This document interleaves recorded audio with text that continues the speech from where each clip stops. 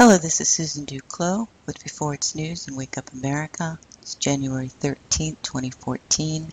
As many know by now, there was a 6.5 magnitude quake that hit off Puerto Rico coast. What many don't know is that according to the global incident map of quakes, over the last nine hours, there have been 32 other earthquakes in the Puerto Rico region some 3.3s, which was less than an hour ago, but also some 4.5s and 4.6s earlier in the night. If you can take a look here, 4.6, 4.5, swarms of them. And if you come to this site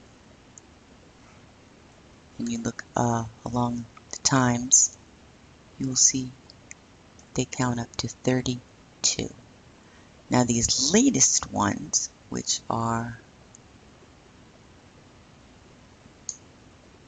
up here, could be the reason that according to the National Data Buoy Center, there are two, as you can see, yellow blinking lights. That means tsunami station in event mode within the previous 24 hours.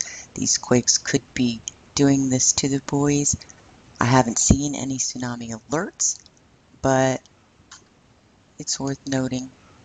I'll go ahead and put the link to the global incident map in the article. I'll put a link to the NOAA in the article and a link to the RT story about the 6.5 magnitude quake hitting off Puerto Rico's coast. Thank you. Have a good day.